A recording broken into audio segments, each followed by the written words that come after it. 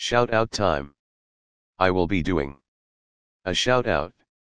Rules are simple subscribe and like this video. And then comment done. That's all.